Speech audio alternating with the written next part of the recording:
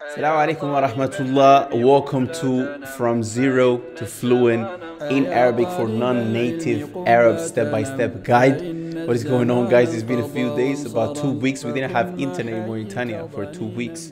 It was very unstable coming back, going. Even right now, I don't even feel safe anymore. It might, it might leave me as I'm recording this video. But inshallah, today guys, I want to make this a less than 10 minutes. Let's see if we can achieve this challenge. And I want to explain you guys pretty much in a very simple way what is the guide, what is the how to start, where to start from. Uh, in order for you to become fluent in Arabic, and in order for you to just do your first steps into into the language. So let's get into it. Now, first of all, guys, let's talk about the non-to-dos and the not to-dos, because you know we can talk about the to dos, but if you don't know the not to dos, then you cannot protect yourself from. This is why it's always good to know the bad so you can get protected from it. So, first of all, a lot of people out there they start learning by or, or learning the grammar and the morphology instead of starting with vocabulary. Then, as well, they learn from teachers who teach them in their language, whether it's English, whether it's another language. Uh, learning from a teacher that has a very broken accent broken for an accent. Like, for example, a brother who, um, you know, goes to study uh, Arabic, and after a year he's teaching, you know, books in Al Ajurumiyya, might, might be in English, might be in Arabic, but very broken to the point where the student can't even really benefit from the from the from the actual, you know, uh, fasaha and the actual eloquency that Arabic has. Uh, learn from different teachers as well at the same time this will make you go crazy. It's like learn different books and different opinions and reading a lot of books at the same time. So the last one is learning on, on your own through videos with no feedback. Like for example, going on YouTube. Oh no, I'm just gonna take. I'm just. I'm not gonna pay for anything, man. Knowledge is free. I'm just gonna go online and and go over these videos, which you know you could benefit from it. But the thing is that you need that little feedback. You need that little that little and that little uh, connection with someone who's guiding you. And uh, you know, Imam Shafi'i rahimahullah, he even said uh, in uh, in his known few lines of poetry, يا أخي لا تنال العلم إلا بستة سأم بك عن تفصيلها ببيان ذكاء وحرص واجتهاد وبلغة وصحبة أستاذ وصحبة أستاذ وطول زمان زمان so Imam Shafi'i he says that uh, that there's three six things that you need to have in order for you to seek knowledge and one of them to not waste time one of them he says صحبة أستاذ صحبة أستاذ which is being with a teacher constantly and having you know a lot of time and uh, and the other ones that that he has mentioned if you guys want to know the other ones just let me know in the comments inshallah and I will write them for you However, all of this is khata, is you shouldn't do any of these that we just mentioned. However, let's talk about the ones that you actually need to do. So start by building your vocabulary only from 2,000 to 5,000 words. That will actually help a lot. Not only will make the learning Arabic easy, but what's difficult in the Arabic language, you will make it easier as well, just because you have a lot of vocabulary and you understand. Now, as well, learn Arabic in Arabic, only avoid Arab, uh, English translations. This is a big thing that my teachers always used to tell me. And when I say teachers, I say teacher because I pretty much just had one real, you know, teacher uh, for the Arabic language, except for, you know, studies at university. However, um, learning in Arabic only and using the actual Arabic dictionary, that makes you, that puts you, you know, in another level than the person who is constantly translating and to the point where when he's about to speak, he first translates from his language into Arabic in his head and then he talks, which makes him slower, which makes him less fluent. So, I mean, it only makes sense. Uh, learn from a teacher with a clear pronunciation when speaking as well. فلا بد أن يكون فصيحا حتى تستفيد من كلامه ويستقيم لسانك باستماعه والتعود على سماعه. So it's important that you learn from someone who, you know, doesn't have to be Arab, but at least sound Arab. And and don't get me wrong, even some Arabs they don't sound Arab. Okay, I remember when we were in Al Azhar. Uh, our teachers they used to teach us in Amiya.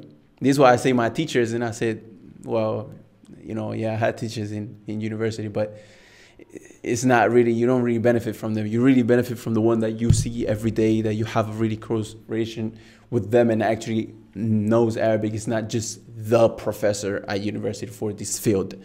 Because they used to teach us in عمي يا عم بص بقول لك الفاعل بقى ب... لا you know you shouldn't you shouldn't study from from these uh, from these teachers um, I don't know why I'm wearing this but خير inshallah um, again pick one teacher and one method and don't change it. All methods really work okay? And and remember that the the the grass is not greener on the other side but it's greener where where you water it. And it's many times um, the, you know this scenario happens where a brother or a sister might start studying Arabic and then he starts studying Arabic at the same time with another brother or sister who's close from him. Then he sees that the other brother or sister is a little bit more advanced or knows things or asking questions in purpose so he can feel like, oh, I didn't study that. And um, and what happens is that then the person who's doing this method then he sees that person who's a little bit more advanced and then he says maybe it's my method that's not working. Maybe it's my teacher. Oh i don't like my teacher. Last time he coughed while i was talking to him and he didn't ask me why. And next thing you know you just you just jumping from flower to flower from book from to book and you never finish the book and you never finish studying from that teacher. Anyways, let's make this quick. Pre-recorded lessons are fine, but you need feedback as you are learning on what you are learning as well. So it's good to, if you have a teacher, for example, or the way how we do it in Arabic like, like an Arab, yeah, you do take the pre-recorded lessons. However, we do follow up with you and make sure that you are actually understanding what's being what's being taught. And as well, you are able to ask the questions. You are able to to call the teacher, okay, yeah, I didn't understand what you said in this place, but most of it is really pretty much self-explanatory. However, you need really what Al-Imam al-Shafi'i rahimahullah said uh, in his in his poetry, وَصُحْبَةُ أُسْتَاذٍ You need to be close from a teacher that can actually guide you. Like moving forward, all of these is what someone should do and what someone should focus on. And obviously, this is my opinion. I didn't take it from any books. It's just from experience. And I speak five languages, so I think that I can actually have an opinion when it comes to learning a language. And I don't. I'm not. I was actually watching a video not long ago on YouTube. It said, "Polyglot who speaks 22 languages." Uh, white polyglot learns Arabic, speaks Arabic. And I was listening how he was speaking Arabic, and I don't think is befitting to say that you're polyglot if you are not fluent in all the languages you speak. So when I say I'm a polyglot and speak five languages, I, am actually like English is a learned language, and I'm speaking to you guys in English. Khaira inshallah. Moving forward, once we know all of this, now we need to jump into the how because it's really. It might sound very simple. Yeah, just start memorizing vocabulary, but it's like, oh, okay, how? So you might be in this situation right here. This brother is Al-Akh Hannan, may Allah bless him and put barakah in his studies. He's been one of uh, our best students in, uh, in, in, in the program Arabic Like an Arab. And he was in the same situation. So I want you guys to hear from him what he has to say when he was actually looking for a way on how to look for this vocabulary, how to start, you know, this vocabulary journey. So you joined Andalus Institute. Explain us a little bit what it was before. What did you go over? What books? Because a lot of people they they start from zero, but other, most of the people, most of the students, they actually have already tried out a few books or a few uh, other methods and whatnot. Yeah. Uh, when I first joined, I start. I had already studied the three Medina books mm-hmm. online with a teacher on YouTube. So I was watching the series. I was going through the books, taking notes, doing the exercises on my own and uh, I was seeking like some advice from my teachers, and he's like, at this point, all you need is vocab. So I'm like, all right, how, how am I gonna get vocab? and all of a sudden, this came along Andalus Institute. All right, guys. So it's easy to just go over books and oh yeah, I studied this book and that book and this book. But if you don't have, you can study the book and actually end up with not even benefiting because you just focusing on the technicalities of what the book is teaching you and what is a fa'il and what is a maf'ul and what is maf'ul bi. I've seen actually brothers who don't know how to maintain a conversation. They don't know how to tell me in Arabic what books they have studied. They don't know how to maintain a conversation in Arabic.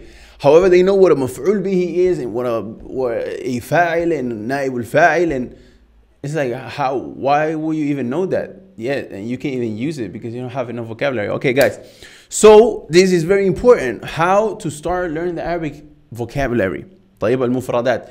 And gaining vocabulary is the easiest thing when learning Arabic. And not only is the easiest thing as we said, but it actually makes easy what is hard in the Arabic language. Knowing vocabulary, a lot of vocabulary makes easy what is hard.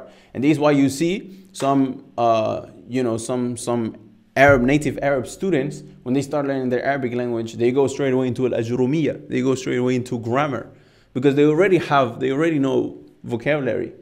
Because even though um, Arabs are from, uh, like nowadays Arabs, they don't, they might not be able to speak classical Arabic, but a lot of their dialect words are just taken from, from classical Arabic. So it's really easy for them to go into the grammar because they already understand pretty much, they understand, but they might not be able to communicate with the classical Arabic. طيب خيرا inshallah. So you are going to learn right now in less than 10 minutes, guys, how to learn Arabic and how to start building your, your mental dictionary of Arabic. طيب so let's get into this. And this is the way, guys. The way is starting with reading simple conversational text that are very simple to understand and start extracting that vocabulary. So you start reading ذهب محمد إلى المسجد في الصباح والتقى بصديقه عمر فكان مسرورا. And now what we do, we start extracting one by one. And you might think, okay, but how do we extract like what? Like do I just memorize what it means? Do I actually do it in a way? So look, guys, this right here, if you if you follow this way, it can like there's I have not I've never seen someone who followed this way and having accomplished what he was looking to accomplish in the Arabic language بتوفيق الله. طيب, so this is what we call in Arabic like an Arab كتاب التبييض which could be translated to the blank book. طيب where we put all our words that we that we memorize and that we learn so here right right here starting from the from the top right we have al-madi which is the past tense al-harf which is the article al-mudari' which is the present tense al-amru which is the command or the request do this then we have al-masdar which is the name some say is is the verb is taken from the masdar and some say that the masdar is taken from the from the verb طيب and we have al-fa'il which is the one that does the action and we have al-maf'ul which is الذي وقع عليه الفعل is the one that the action is being done upon طيب so for example we have ذهب which means to go ذهب والحرف إلى and the article is إلى طيب and the article is important that we have it here as well because the article will change many times a matter of fact is that the article depending on the article the sentence might mean something or might mean something else and this is why for those who have studied al-jurumiyah who are watching this uh, you will see that ibn al-jurum when he talks about aqsam al-kalam he says fi'lun wa harfun uh, fi'lun wa ismun wa harfun ja'a li ma'na wa harfun ja'a li ma'na meaning that the harf gives the ma'na in the in the actual sentence. So it's important that we have the harf, the article, and depending on the article, something might mean something, something will make uh, or mean something or something else. So we have ذهب, he went, يذهب, he goes, اذهب, and it's the amr, meaning go. الذهاب, right here, ذهاب, which is, uh, you know, the action of going. الذاهب, who's the, the person that's going, the person that's doing the, act, the actual action and then we have al-madhub the madhub ila meaning the thing that is gone to طيب so so in this case in this case and guys You know, I don't want from this video that you that you say, oh my God, this is so this, this is so difficult. I'm just showing you the, you know, the actual plan, the actual strategy. The strategy, when an architect shows you the strategy of a plan, it always looks difficult until he builds the building and you say, oh mashallah, it was actually it was actually simple. Taib, so so the way why we want to do it like this okay, the way why we, if we prepare ourselves and we have a good foundation, we start learning a good way instead of you just, you know, building your, your vocabulary in a notebook, writing uh, bayt means house, sayyara means, means uh, you know, uh, a car and, and instead of doing it like this on a dirt in a, in a in a dirty way in not organized way you want to do it this way. So you can actually go back to it and you can revise it طيب and this one this was one of the advices that Al-Imam al-Bukhari rahimahullah said or gave when when they asked him on how to retain knowledge he said by way of storing the knowledge and by way of tikrar by way of repeating that knowledge so you actually want to have it so you can actually go back to it so ذهب يذهب إذهب ذهاب ذاهب مذهوب and the good, the good thing about this as well, about this method, is that in a, me- in a melodical way, method, it will be so easy to just keep memorizing words and words and words and words. And for those who have a little bit of experience with memorizing Quran, you know that when you start memorizing Quran, half a page is very hard. Then one page starts to become a little bit more like, you know, easier. Then once you pass Kaf, Surah Kaf, if you start from Nas, you, you see yourself memorizing two pages, three pages, four pages, and that's because the memory muscle is already developed.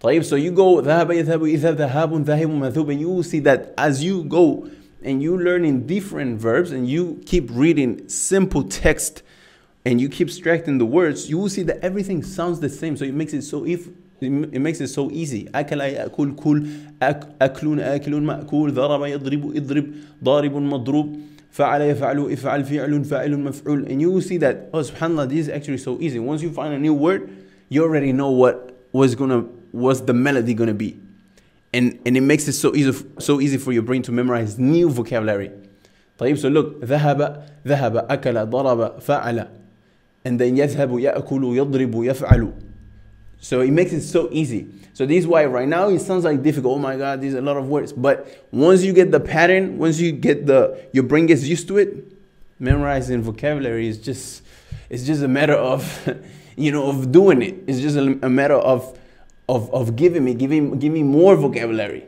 because I already have the the pattern in my head. طيب خيرا.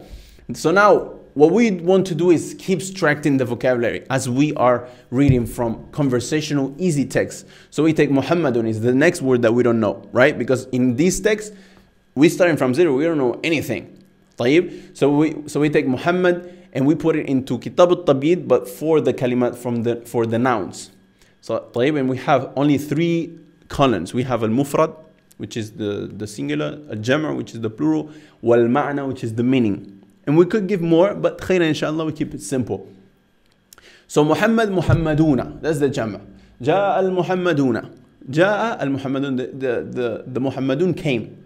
Those, the group of men who all of them's name Muhammad. طيب خير inshallah. Now we take ila. Ila is an article and we took it for ذهب.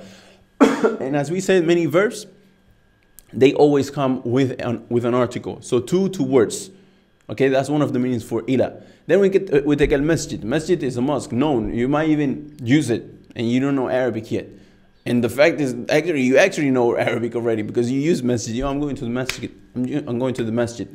Or they say uh, in the US, I'm going to the, to the masjid, to the masjid or something. I can't remember.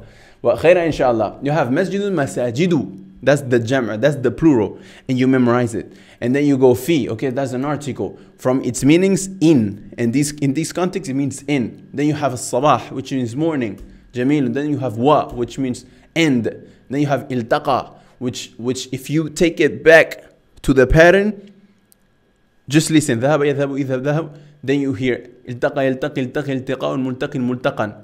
Then another verb that sounds a little bit the same is gonna come like like استفعل استفعل استف, uh, استفعى يستفعي استفعي استفعال and then you have uh, استأجر يستأجر استأجر استئجار and all sounds the same so as long as you take the madi خلاص you know the rest what is going to be already you know the rest what is going to be already so by learning one word you're actually learning six seven more or by learning one word you actually know already seven more طيب then you take B which is an, an actual article as well. In this meaning, it will be it will mean with, and from its meanings, because you know, with a meaning or with another in a context or another, it might mean something, it might mean something else.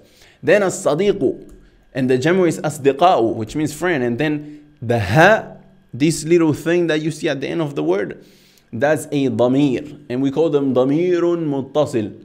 Damirun muttasil, a connected damir. And a damir, it could be in English a pronoun.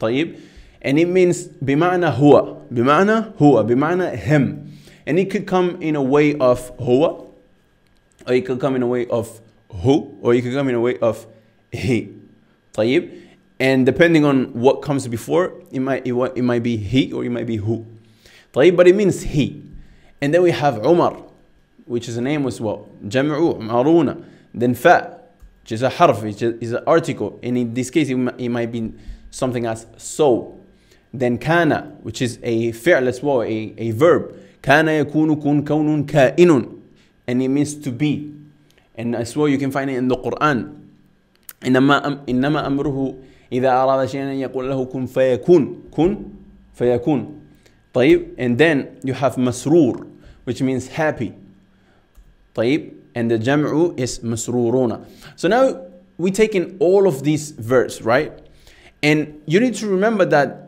learning Arabic is only about memorization so as long as you are doing these you know as long as you are following this method and you keep reading verbs I mean, you can you can read in text, very simple text, and you keep extracting the vocabulary from baby, baby level all the way to Sheikh Ibn Islam Ibn Taymiyyah, you know, uh, you start reading books like Ibn al-Qayyim, etc., etc. As long as you keep doing this, and you get to the point of having in between 2,000 to 5,000 pieces of vocabulary, there is no other than actually knowing as much as a native person a native Arab would know. طيب, so remember that learn Arabic is about memorization. I'm not gonna come here and make it seem as is easy. No, you just go over there. No, you actually need to memorize. This is like memorizing the whole Quran. Obviously, is is a little bit, uh, you know, a little bit more difficult because the Quran is made is made easy for you to memorize. But if you follow this melodical way, it will be as simple, inshallah, with the tawfiq of Allah, for you, than memorizing the Quran. And if you learn Arabic and you have all of this vocabulary, you will find all of this vocabulary in the Quran, which, which will make it even easier for you to memorize if you actually have, you know, uh, high aspirations like this. Now, and this might seem a lot to memorize right now, but it's actually not that much. It's actually not that much. And as I said, with this method of of organizing everything, it makes it so easy to just keep bringing more vocabulary, more, more, more, more, and more. And once you know it, you know it. The thing is that that's the that's the you know the interesting thing and the and the the encouraging thing is that I show you guys the a text in the beginning. You guys didn't know anything. Now, if you sit for the next hour and you go over the all the vocabulary that we took, the next uh, the next text that you find, like this text that you have in front of you, I have, uh, you know, in on purpose put some of the words that we have already learned. And now see all of the greetings what you should already know. What you should already know. And the rest is what you don't know. Now, if you do the process that we did for the past text with this, the next text that you will see all of these words, you will already know them as well. So you will understand a 60 to a, to a 90% of it already. طيب so you know التقى you know عمر you know في الصباح كان في طيب so take this example okay the students in Arabic like an Arab when they start this the first class the first class class they find these three texts and we extract all of this vocabulary and they don't know any of these words طيب like basically we extract all the vocabulary طيب and I'm sure you know just being as a Muslim many things you already know like Assalamu alaikum um, you know, Anna, Kaifa. You know, many, many students, they might already know a few words of this. But what I, the point that I'm trying to make is that look the last, the last lesson, look how many words they don't know. Look at the red highlighted words. These are the words the students don't know. طيب, so the rest of it, they know it, which is pretty much 85% of it. So they understand the whole, the whole context just by you know, the past 40 something lessons in, in, because they have been building their vocabulary.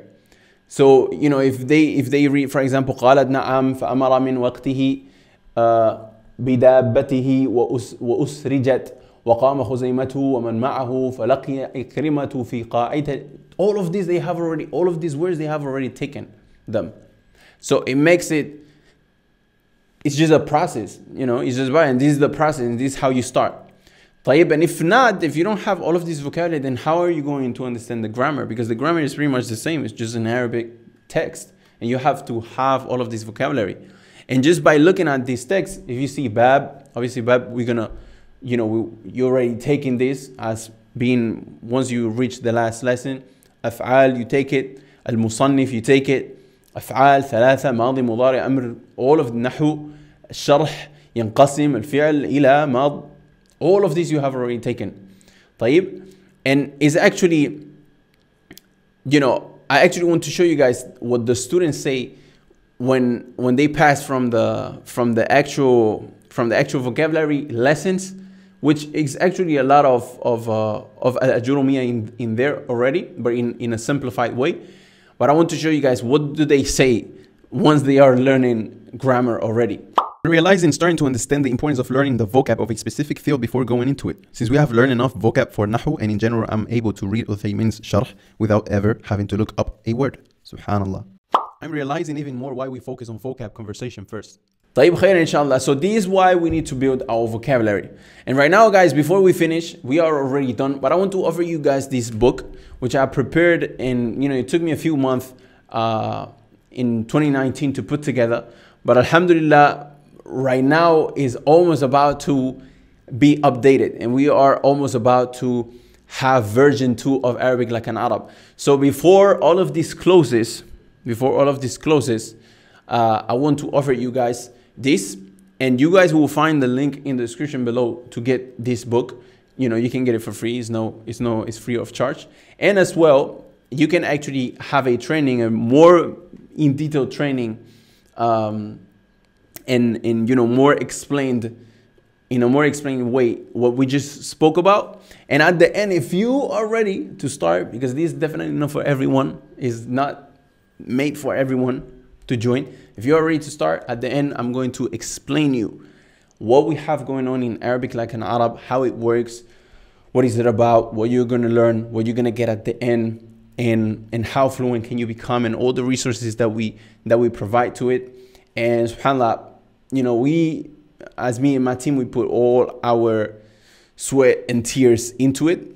So you will be very surprised. Most of the students who go over and see how I have set it up, etc they are very surprised. So inshallah, I highly recommend you to go and check it out.